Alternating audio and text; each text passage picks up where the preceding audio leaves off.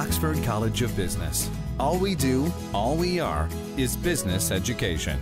පෞගිය බ්‍රාස්පතින්දා ආණ්ඩුවේ සමමාධ්‍ය ප්‍රකාශක රාජ්‍ය සේනාරත්න ඇමුත්තුමා අපූරු ප්‍රකාශයක් කළා. එතුමාට අනුව හිටපු ජනාධිපති කාර්ය මණ්ඩල ප්‍රධානී ගාමිණී සෙන්රත් මහතාගේ රියදුරා පොලිසියට ප්‍රකාශයක් දීලා තිබෙනවා. මේ ප්‍රකාශයෙන් කියන්නේ 2015 ජනවාරි මාසයේ 7 වෙනිදා රියදුරාය කියන තැනැත්තා යවලා රුපියල් කෝටි 1260ක මුදලක් ගෙන්න ගත්තා. ඒ මුදල අරගෙන ගාමිණී සෙන්රත් මහත්තයා උඩ තට්ටුවට නගිනවා රියදුරා බලාගෙන හිටියා කියලා. කෝටි 1260 හැටක් කියන්නේ මිලියන දොළොස්දා සයිසීයක්. ලංකාවේ තිබෙන ඉහළම මුදල් නෝටුව රුපියල් පන්දහ. සැකේ වාසිය රාජිත ඇමත්තුමාට දීලා අපි හිතනවා මේ සියලු මුදල් ගත්තේ 5000 නෝට්ටු වලින් විතරයි කියලා. එහෙම ගත්තත් 5000 නෝට්ටු 25 මිලියන 20000ක් බැංකුවෙන් ලබාගෙන තියෙනවා. අපි බැංකු නිලධාරියෙක්ගේ සහයෙන් රුපියල් මිලියන 5ක් කිරලා බැලුවා. එතකොට තිබ්බා කිලෝග්‍රෑම් එකකුත් ග්‍රෑම් 20ක්. ආයි සැකේ වාසිය ඒ පැත්තට දීලා අපි මේක කිලෝග්‍රෑම් එකක් කියලා ගමු. රුපියල් මිලියන 5ක් කිලෝග්‍රෑම් එකක් බර බරයි නම්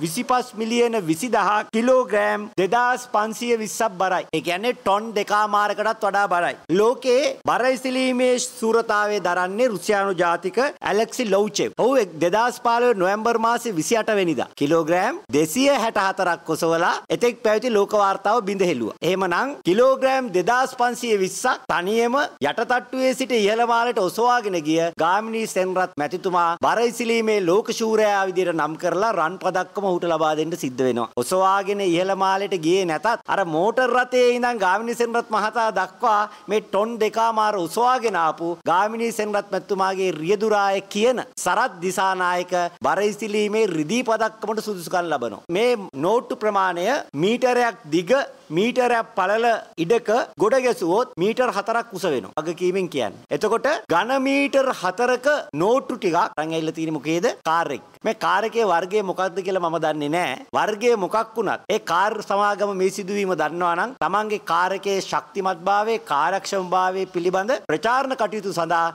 මේ සිද්ධිය යොදා ගන්නවා සිකුරුයි. හැබැයි ගාමිණී සෙන්රත් මහත්මයාගේ නීතිඥා මාධ්‍ය නිවේදනය නිකුත් කරමින් කියනවා තමන්ට සරත් දිසානායක නමින් රියදුරේ පුද්ගලයෙක් කිසිම දවසක ඉඳලා නැහැ කියලා. ඒ විතරක් නෙවෙයි එවැනි පුද්ගලයෙක්ව ගාමිණී සෙන්රත් මහතා හඳුනන්නේ නැහැ කියලා මාත් එක්ක පෞද්ගලිකව මේ පිළිබඳ විමසීමේදී සඳහන් කළා. එදා මාධ්‍ය හමුවේ එතුමා කියනවා මදුරාසියේ සිට පිරිසක් ඇවිල්ලා ඔහුව ඝාතනය කිරීමේ කුමන්ත්‍රණයක් එතුමාගේ ජීවිතේට තර්ජනයක් තියෙනවා කියලා. හැබැයි ඊට පහුවදා මාධ්‍ය හමුවක් තියෙන රුවන් විජේවර්ධන ඇමතිතුමා කියනවා බුද්ධියංශ එහෙම දෙයක් වාර්තා කළත් නැහැ. අපේ බුද්ධියංශ බොහොම කාර්යක්ෂමයි. එහෙම දෙයක් තියෙනවා නම් වාර්තා නොකර ඉන්න විදියකුත් නැහැ. ඒ විතරක් නෙවෙයි මේ මොහොත වෙනතුරු තමන්ව මරා දැමීමේ කුමන්ත්‍රණයක් තියෙනවාය කියලා රාජිත ඇමතුමා පොලිසියට පැමිණිල්ලක් කරලත් නැහැ. මොකද්ද මේ පේන්නේ? බොරු කියන්නටම උපන් චේතිය රජතුමත් පරදවා රාජිත ඇමතුමා බොරු කියන බවයි. මේ ආණ්ඩුවේ උපාය වෙලා තියෙන්නේ එක සතියට එක බොරුවක් තේමාවයි. මේක කපටිකමක්. එක සතියට එක බොරුවක් තේමාව ආණ්ඩුව පවත්වගෙන යන්නේ ජනාධිපති වර්ණයේ සමයේ කිව් බොරු අමතක කරවන්න ජනතාවට. දෙවෙනි උපාය වෙන්නේ ජනතාවට එදිනෙදා තියෙන ප්‍රශ්න ටික අමතක කරන්න.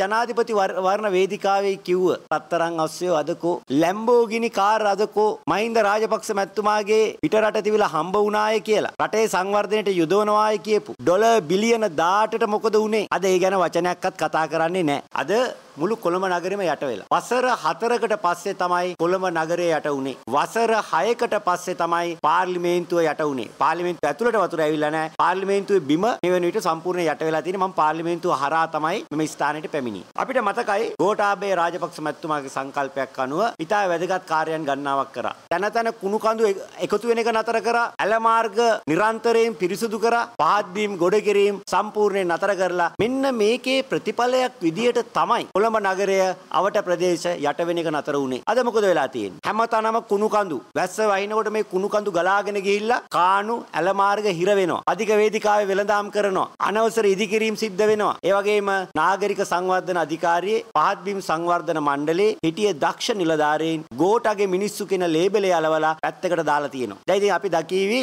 මාධ්‍ය ඉදිරියට ඇවිල්ලා ඇමතිවරු කයිවාරු ගහයි කොළඹ නගරයේ මිලිමීටර් මෙච්චර ගානකින් යට වුණා. ජලයේ වැස යාමට ගත වෙන පැය ගන්න ගන්න මෙච්චරයි යනාදි වශයෙන් මාධ්‍ය ඉදිරියේ කයිවාරු ගසාවි. අපිට ඕනි කතා කරන නායකයෝ නෙවෙයි වැඩ කරන නායකයෝ. ඒ නිසා අපි මහා නගර ඇමතිතුමාගෙන් ඉල්ලීමක් කරන්න කැමති ගරු මෙගාපොලිස් ඇමතිතුමනි ජනතාවට සුන්දර සිහින විකිණීම පසෙක තබා 2015ට පෙර තිබුණු සුන්දර යට නොවන කොළඹ නගරය අපට යලි ලබා දෙන්න වැඩ කරගන්න බැරි වුණාම වැඩ කරන විදිය දන්නේ නැති වුණාම නායෙන් අඬ අඬා රාජපක්ෂ ආණ්ඩුවට බනිනවා වෙනුවට මේ වැඩ බැරි ආණ්ඩුව ගෙදර යන්න අපි ලෑස්ති රට බාර අරගෙන බින්දුවෙන් යලි පටන් ගන්න කියලා අපි මේ ආණ්ඩුවට දැනුම් දෙනවා අද උදෑසන මහින්ද රාජපක්ෂ මැතිතුමා මට දුරකථනයෙන් කතා කරලා සංවේදී කාරණයක් දැනුම් දුන්නා. උගන්ඩාවේ සිට ඊයේ ලංකාවට පැමිණ ඇවිත් බැලුවම Tamanට සපයලා තිබුණු යුද හමුදාව ඉතිරි ආරක්ෂක නිලධාරීන් 54 දෙනාත් වෙනත් අය එවීමකින් තොරවම ඉවත් කරලා. මහින්ද රාජපක්ෂ මැතිතුමා උගන්ඩාවේ යනකොට යුද හමුදා නිලධාරීන් දෙන්නෙකුත් අරගෙන ගියාම මෙන්න මේ කාරණේ මතුණා. තාමත් හමුදාවේ ඉන්නවා කියලා. හමුදාවයට එන්න කියලා තිබුණේ වැඩ බාර ගන්න STF ආවේ නැති නිසා ඒ අය හිටියේ. දැන් යුද හමුදාවෙන් දැනුම් දීලා තියෙනවා වැඩ බාර ගන්න කෙනෙක් කාවා නාවා ඔබ සැම වාම යුද හමුදාවට සේවය වාර්තා කළ යුතුයි. නිසා අපි ඊටම වක්කීමෙන් කියනවා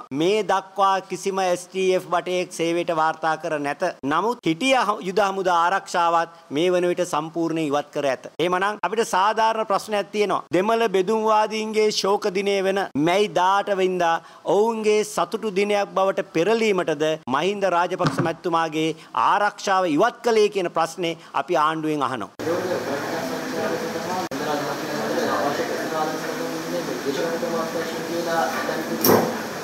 එක්දා නවසය අසූහය අංක හතර දරන ජනාධිපතිවරුන්ගේ වරප්‍රසාද පිළිබඳ පනත විධවිධාන අනුව හිටපු ජනාධිපතිවරයෙකුට කැබිනට් අමාත්‍යවරයෙකුට සරිලන ප්‍රවාහන පාසුකම් සැපිය යුතුයි. ඇමතිවරයෙකුට වාර්ෂිකව රුපියල් මිලියන ගණනක් වෙන් කරනවා නිල සංචාර සඳහා අවශ්‍ය ප්‍රවාහන පාසුකම් සපයන්න. මහින්ද රාජපක්ෂ මැතිතුමාට ඇමතිවරයෙකුට හිමි වරප්‍රසාද හිමි ඒ අනුව එතුමා ඒ සඳහා ගමන් වියදම සඳහා වෙන ගුවන් ටිකට් පතේ මුදල විදේශ අමාත්‍යාංශයෙන් ලබාගෙන තියෙන එක එතුමාට තියෙන නීත්‍යානුකූල හිමිකමක්. හැබැයි ඒක මම හිතන්නේ මම දන්න තරමේ රුපියල් 4,25,000ක් වගේ මුදලක් ගියේ වර්ෂයකට සෑම ඇමති කෙනෙක්ම මිලියන ගණනක් විදේශ සංචාර සඳහා යොදා ගන්නවා.